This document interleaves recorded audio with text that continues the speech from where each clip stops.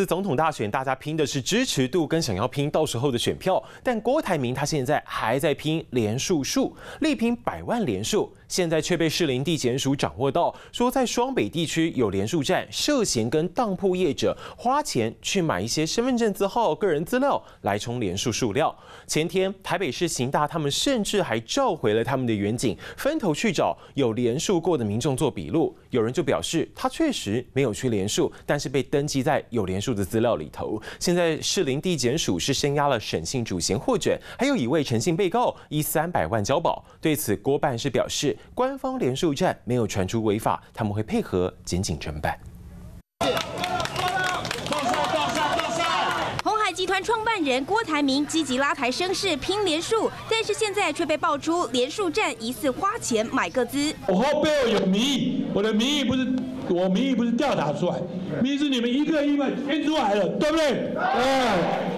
身份证不好拿哦！大声感谢选民支持，先前才宣布参选总统门票已经拿到手，但是士林地检署指挥台北市刑大跟调查局分头找在双北地区连署的民众，因为检方接获情资，双北地区有多家当铺业者会将客人身份证影本以一张四百块的价格卖给中间商或是连署站，最后审信主嫌涉嫌买卖连署书被声押禁见获准，诚信被告三百万元交保，其他五人则分别以一万。五千元至十万元交保。我们官方的联署站点其实都在稳健的进行中，那也没有任何的违法情事。